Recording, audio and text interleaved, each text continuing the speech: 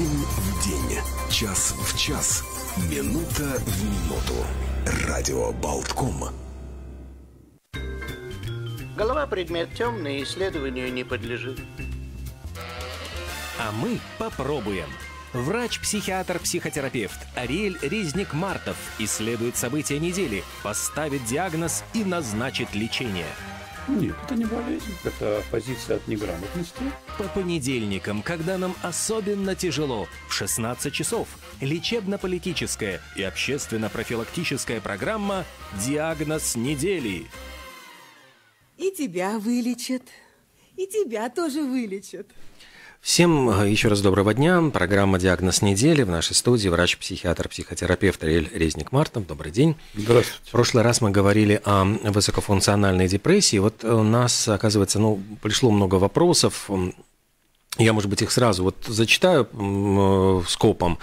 Спрашивают, э, где находится тот самый вот орган, который занимается классификацией всех этих расстройств и заболеваний, почему не могут договориться между собой психиатры, что он не попал, вот эта высокофункциональная депрессия, в реестры. А какой процент населения э, ну, вот, страдает этой депрессией, и кто из психиатров в Лиге может такой диагноз выявить? Ну, насчет, что психиатры не могут с собой договориться, это не совсем так, потому что есть э, руководство, есть международная классификация болезней, которая выходит раз в сколько-то лет, и есть отдельный раздел психические расстройства. И я думаю, что это все идет под эгидой э, Всемирной организации здравоохранения. В Америке выходит такое руководство, DSM называется, руководство по психическим заболеваниям. То есть, в общем здесь вполне себе есть общий подход. Могут в деталях быть дискуссии, но в диагностических критериях э, почему не включена высокофункциональная депрессия? Я думаю, что принципиально лечение будет не очень отличаться. Я не думаю, что любой э, нюанс должен быть отображен в классификациях. То есть вам поставят высокофункциональную депрессию, но это не очень будет влиять то, как ее лечить. Есть э, классификации в рамках какого расстройства депрессия, есть э, депрессия легкой, средней, тяжелой тяжести и так далее. То есть э, критериев для лечения вполне достаточно. Я думаю, что это так. Насчет на высокофункциональное или нет, я думаю, что это не везде пока что термин употребляется, он достаточно популярен, многие им пользуются. Наверное, он э, хорош для того, чтобы э, для чтобы в первую очередь можно было разобраться, что под этой высоко, высокой функциональностью все-таки скрывается депрессия. То есть, что эту депрессию можно было бы застать на ранних стадиях. То есть, пока, ну, как у большинства людей бывает, если я справляюсь, с работой справляюсь, дома справляюсь, ну, нечего по врачам бегать. Ну, плохое настроение, с кем не бывает и так далее. Вот. Когда это скрывается, это функциональность депрессия, а депрессия любит маски, есть так называемая маскированная депрессия, когда депрессия проявляется не жалобами на плохое настроение, а скорее жалобами на какие-то физические недомогания, неприятные ощущения.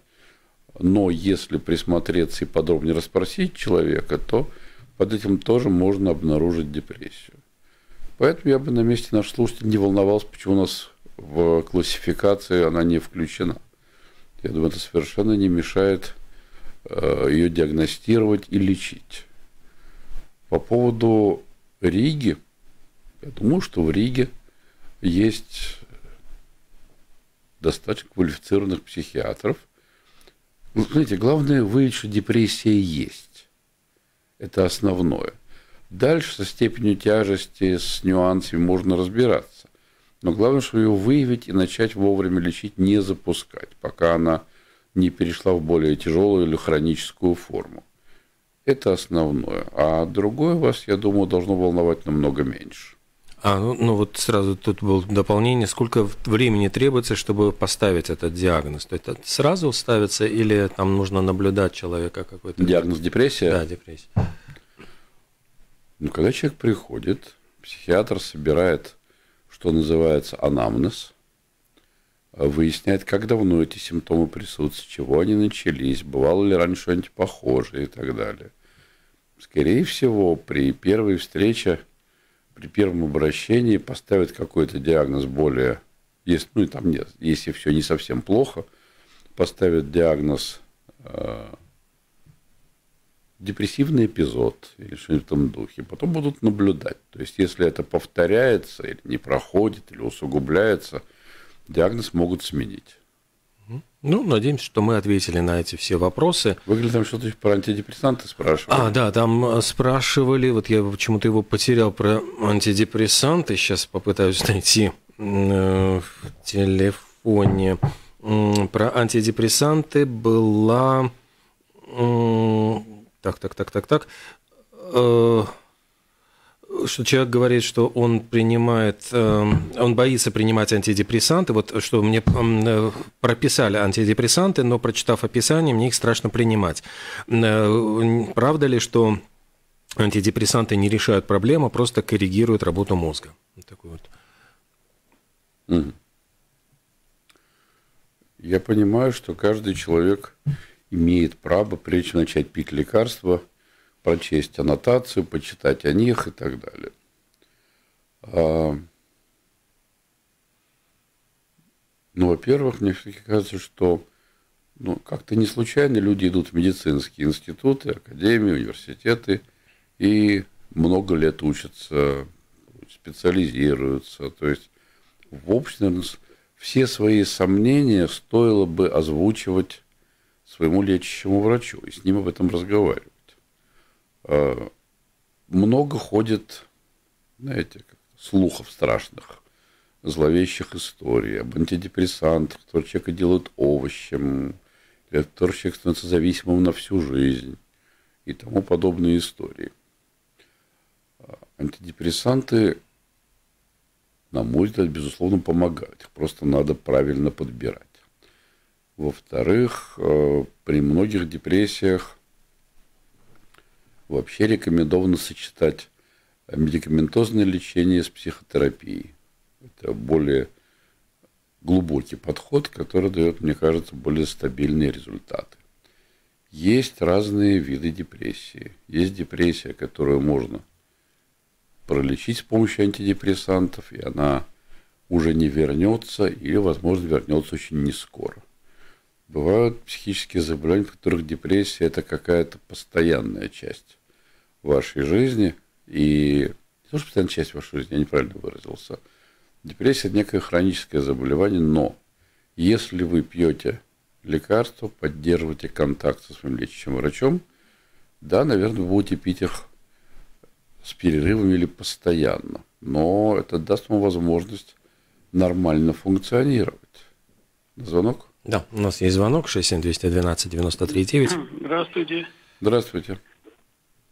Э, скажите, пожалуйста, вот э, родственнику мой, родственник моей жены переболел ковидом, и после этого у него начались э, панические атаки, на, похожие на вегетососудистую дистонию. Вот он пьет или транквилизаторы, или антидепрессанты. Ну, короче, жена жалуется, что он очень вялый, такой, и до сих пор он еще не, не вошел в форму. Вопрос такой, почему вообще о последствиях ковида никто не трубит, не просто говорит, а трубит. Надо трубить об этом, кричать, писать везде. Какой ковид дает последствия. Ну и вот эти лекарства, правильно он принимает, неправильно, вылечиться еще не знаем. Спасибо. Ну, я с вами не соглашусь, что никто не трубит. Об этом так называемый long ковид, длинный ковид, о его последствиях очень много писали и говорили и до сих пор информации полным-полно. Да, есть ситуация, когда после ковида остается долгое такое, ну, не знаю, остаточное явление, которое сказывается на разных системах организма. которые проявляются слабостью, вялостью, упадком сил. И это потихоньку восстанавливается очень медленно. А, если у человека есть панические атаки, их, конечно же, надо лечить. Вы сказали или транквилизатор, или антидепрессант. Это очень разные препараты. Транквилизаторы скорее используются как скорая помощь. Антидепрессанты – препараты более длительного действия. А, поэтому, ну, по моим наблюдениям, когда у людей после ковида начинались панические атаки, это люди, которые и до заболевания ковидом были с такой хрупкой вегетатикой. То есть у них и раньше были тревоги, какие-то приятные ощущения. Да, ковид наносит иногда очень мощный удар, и люди вынуждены долго страдать. И, и кстати, правильно или неправильно лечат. Наличие панических атак, постоянных и мучительных, конечно же, это показатель для медикаментозного лечения. Потому что не тот диагноз, где можно справляться силой воли и так далее. Есть разнообразные плюс к антидепрессантам есть релаксационные методики, которые тоже помогают снизить тревогу и напряжение, но если есть серьезные панические атаки, без медикаментозной помощи их лечить, на мой взгляд, маловероятно. Вот пока мы говорили, еще пришел вопрос, могут ли психиатры назначать лечение без установки точного диагноза, например, выписать антидепрессант или нейролептик при симптомах, похожих на невроз, депрессию или ВСД? Поэтому какой-то диагноз устанавливается. Но смотрите, представьте себе, что у вас есть панические атаки или депрессивное состояние, или сильная тревога. Вы приходите к психиатру, он с вами разговаривает, началось все это недавно сравнительно, и пока еще поставить вот окончательный диагноз он не может. Но если вам скажут, вы знаете, голубчик, пока я не поставлю окончательный диагноз, я вас лечить не буду, вам это очень не понравится. Поэтому психиатры не назначают лекарства вслепую. Психиатры э, досконально вас расспрашивают, наблюдают, и лекарства обычно назначают, человек перестал мучиться. Это основное вообще, назначение. Лекарств человека исчезли эти болезненные симптомы. Есть то, что называется симптоматическое лечение, просто снять симптом. Есть более глубокий подход, зависит от того, что с вами происходит. Но я не думаю, что хоть кто-то вас будет лечить со словами а что, Бог вы знает, что это такое, но попейте таблеточки на всякий случай. Я думаю, вас будут наблюдать и по мере э, лечения и уточнять диагноз, именно уточнять, не ставить его впервые, а уточнять и при необходимости корректировать медикаментозные назначения. Ну что же, вот я надеюсь, мы ответили на все вопросы. А, тема сегодняшней беседы – это зависимость от новостей. Да, не так много времени у нас осталось. Ну, я не знаю, или, или начинать, или, или тогда мы, может быть, еще примем какие-то вопросы, звонки на ну, эту может, тему. Просто тема тоже интересная, ее так вкомкать угу. и втиснуть в оставшиеся 20 минут было бы как-то обидно. Ну да. Хорошо, тогда здесь э, можем попробовать, ну что действительно, мне кажется, что прошлая тема вот как раз э, вызвала какой-то очень большой тоже э, резонанс и вот вопросы, потому что я понимаю, что для многих, ну вот да, тут остался еще недоотвеченным вопрос, а какой вообще процент населения находится вот в высокофункциональной депрессии, то есть не в самой депрессии, а вот на границе, на пограничном состоянии? Я не могу на это ответить. Я не знаю, проводились ли исследования.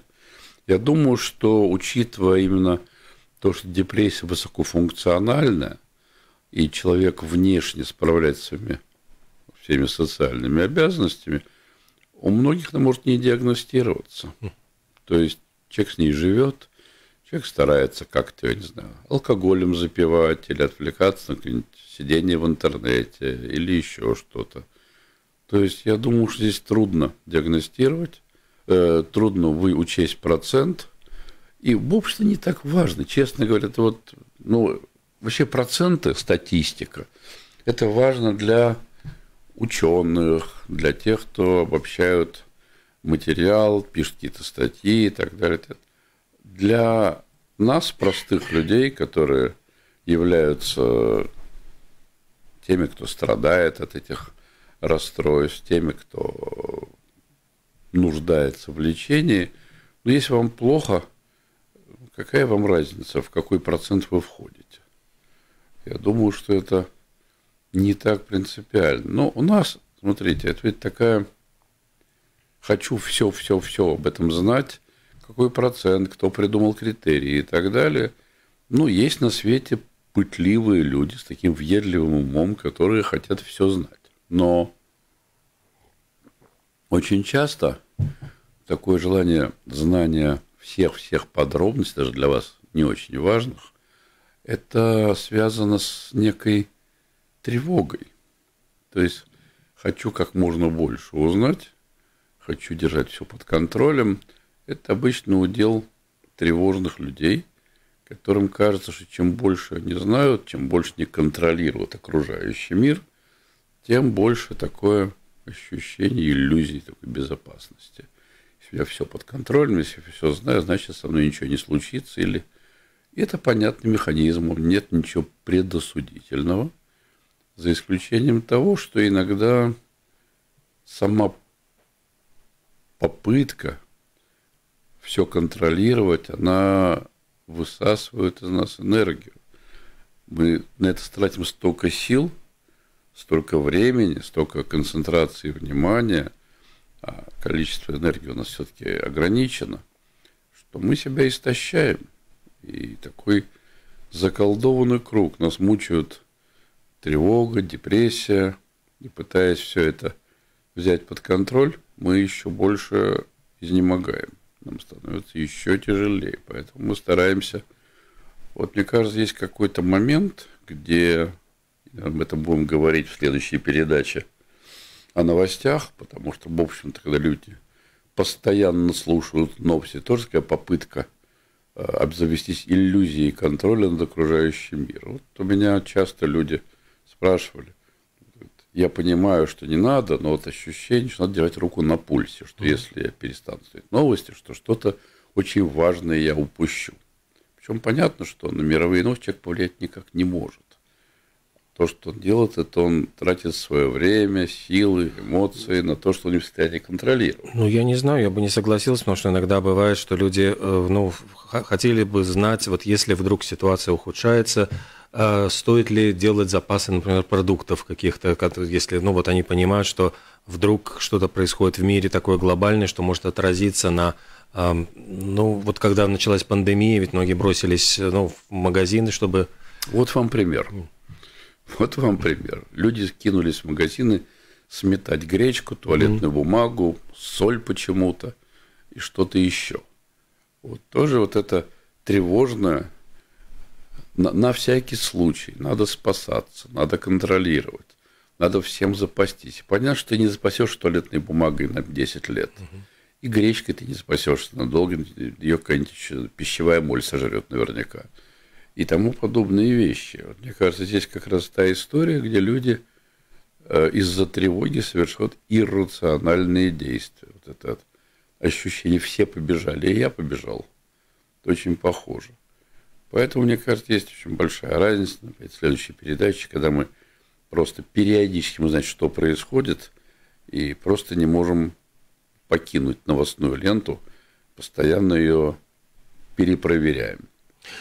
А вот я понимаю, что все-таки вопрос э, насчет процента населения, которое находится в депрессии, э, может быть, э, я бы его расшифровал так. Человек интересуется, что может ли быть, что, например, вот он примеряет к себе эти симптомы депрессии, или как в анекдоте, да нет, вы, батенька, вот ну просто вот э, разгильдяй или жебока и нытик, а высокофункциональная депрессия вот у, у других людей. Ну, то есть вот его интересует, насколько она распространена. Действительно, может ли так быть, что там каждый второй, условно говоря, вот у нас на планете страдает этой депрессией, или это просто нежелание работать, или это сезонная какая-то усталость, раздражительность из-за того, что осень, сократился световой день? Я думаю, что все равно с этими вопросами человеку придется идти к врачу. до тех пор он будет гадать, сидеть в интернете, проверять различные источники. А есть еще такая печальная привычка у людей э, ходить по разным форумам. Там, форум людей, пьющих антидепрессанты, форум людей. И там, конечно, можно найти и какую-то полезную информацию, но зачастую там пишут, к сожалению, не очень адекватные люди, которые своими комментариями просто пугают. На звонок? Да. У нас еще один звонок. Здравствуйте. Доброе утро. Здравствуйте, Лариса. Вы понимаете, к сожалению, раньше вот было что? Лечились в очередях в поликлинике, сарафанное радио на лавочках. А сейчас люди лечатся в интернете. Или опять же тоже иногда и на лавочках. Ну вот не изменить, наверное, человеческую натуру. Меняется техника, а люди-то, мозги не меняются. Спасибо. Пожалуйста, Лариса. Ну, смотрите, вот, в частности, для того мы ведем нашу передачу, чтобы люди могли задавать вопросы. И наша передача ни в коем случае не является лечением. Наша передача носит какой-то информационный характер, чтобы люди, по крайней мере, если, а так похоже, что почти все наши темы кого-то дозатрагивают, чтобы люди находили для себя повод задуматься, чтобы люди находили повод задуматься – может быть, не стоит сходить к врачу и просто поговорить об этом. То есть это распространенное заблуждение, что сидят скучающие психиатры, только ты ищешь всех первым встречным, вот там, немедленно заколоть страшными нейролептиками, положить в больницу. Психиатрам есть что делать, поверьте мне. У них очень много работы, у них, я думаю, как во многом в медицине у нашей недостаточное финансирование, поэтому никто не будет вас лишний раз Э, лечить не будет необходимость. Поэтому, Лариса, интернет, конечно, во многом зло. Я с вами абсолютно согласен. Но интернет это то же самое, то, что, то чем надо уметь пользоваться. Вот то, если мы в интернете, то, где надо искать какие-то медицинские ресурсы, вызывающие доверие. Вот я, например, даже будучи специалистом, я периодически ищу новости э, в сфере для меня интересной. Я нахожу различные ресурсы. Я смотрю, что это были профессиональные ресурсы. Я смотрю, чтобы это было, э, по крайней мере, люди, которые это пишут, вызывали доверие. И то это всегда можно проверить и перепроверить. Не надо черпать информацию в социальных сетях. Потому что люди, которые за которые вы следуете в социальных сетях, иногда могут вполне себе добросовестно заблуждаться. Я, по крайней мере, много встречал в соцсетях комментариев, следовать и советов, следовать которым было бы достаточно вредно для здоровья. Да, поэтому, ну, чем больше информационное пространство, тем больше в нем мусора, чисто статистически. Поэтому что мы все должны научиться делать, это, что называется, отделять злаки от плевел. Угу. И смотреть, где источники информации, заслуживающие доверия. И пять источников информации в интернете, а только повод задуматься, надо ли мне сходить на всякий случай на консультацию к э, реальному специалисту. Вот по поводу консультации реального специалиста. Все-таки вот здесь было уточнение, которое я опустил в вопросе. Э, значит, какой психиатр в Риге может выявить такой диагноз или любой с этим справится? Я бы даже, ну, может быть, переформулировал. Понимаю, что это не очень этичный вопрос вот о ваших коллегах, но э, ну, нужно ли не бояться идти, ну, то есть нужно ли искать какого-то специального наводить справки, или, в принципе, можно вот обращаться к любому специалисту, э, ну вот, например, по поводу высокофункциональной депрессии? Есть ли какие-то специализации? Ну... Я думаю, еще раз. Но, смотрите, все равно люди, э, когда ищут специалистов, все-таки пытаются найти какие-то рекомендации. Угу. Кто-то звонит знакомым, у кого был такой опыт, кто-то ищет комментарии в интернете – но я думаю, что, ну, если вы пойдете в любом случае к психиатру, что это значит? Это человек, который с гарантией получил высшее медицинское образование, э, потом специализировался в отрасли психиатрии и уже, очевидно, какое-то время в этой сфере работает. У него есть опыт. То есть это не человек, который действует, ну так, как Бог на душу положит. Есть определенные методики диагностики и лечения. Поэтому я думаю, в любом случае пойти к психиатру правильно.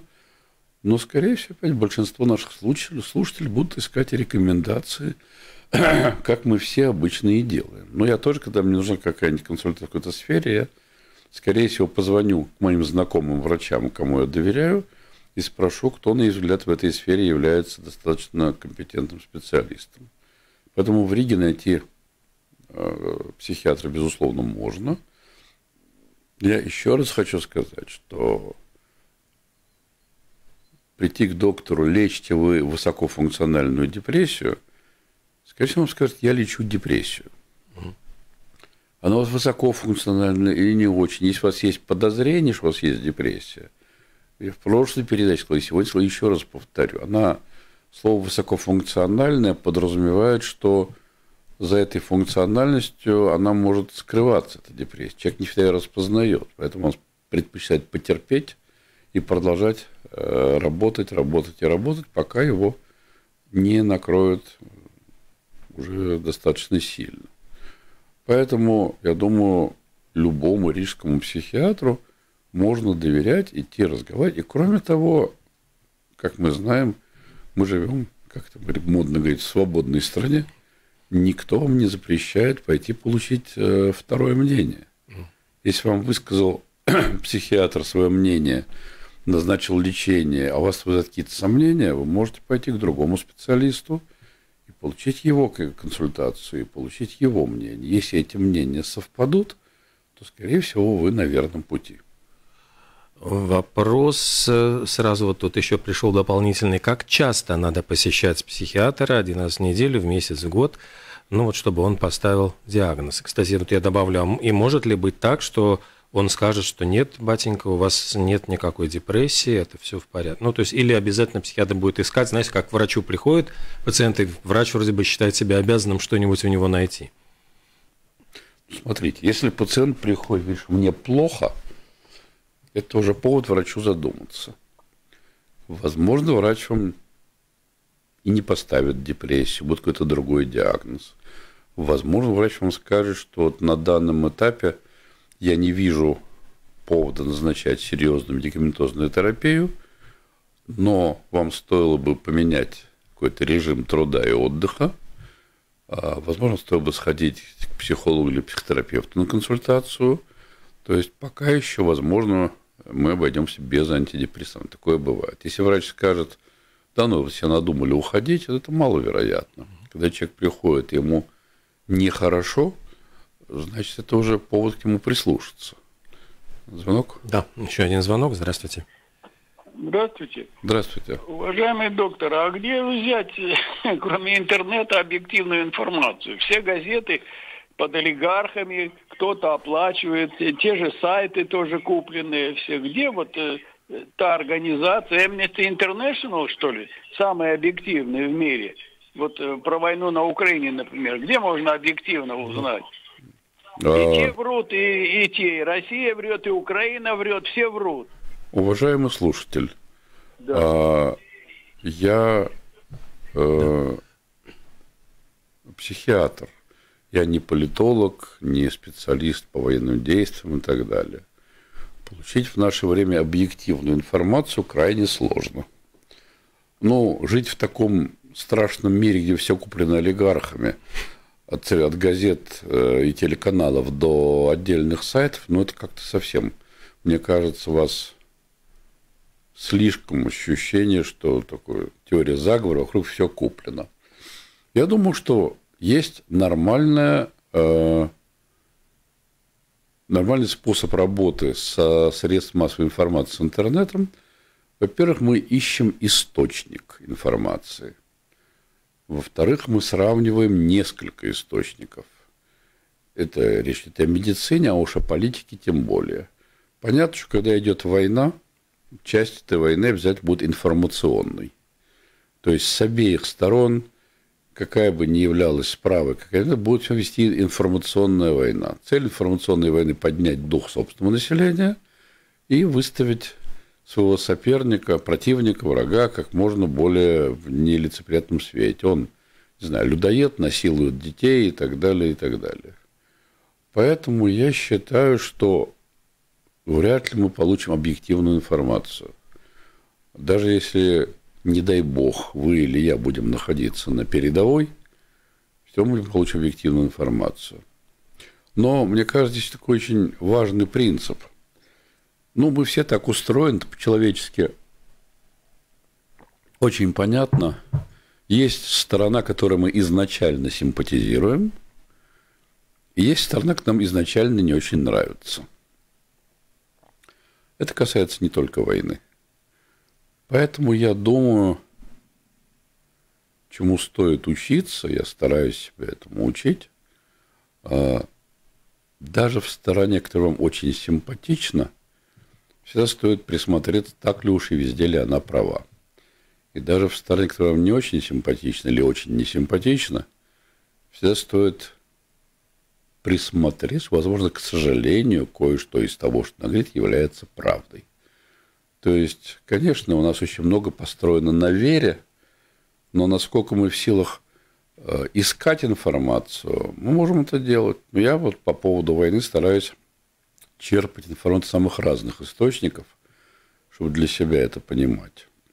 И, наверное, это дает мне какое-то дополнительное понимание. Но еще раз, это вот подход – все скуплено олигархами, тогда надо махнуть рукой, никуда не читать вообще ничего, возделывать свой какой-нибудь огород, ходить на работу, заниматься своей жизнью, хобби, интересами, семьей, что тоже не так уж плохо на самом деле. Да? И не пытаться понять, где же правда.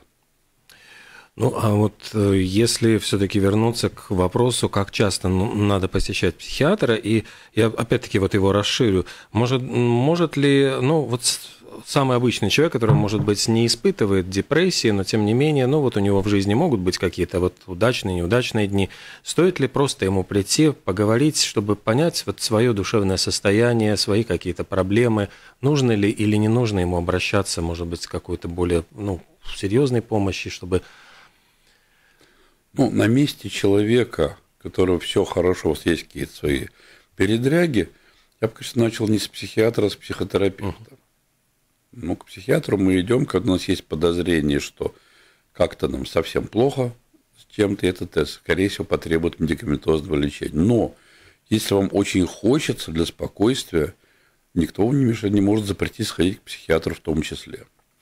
Насчет того, как часто нужно ходить. Вот здесь важно не путать психиатра и психотерапевта.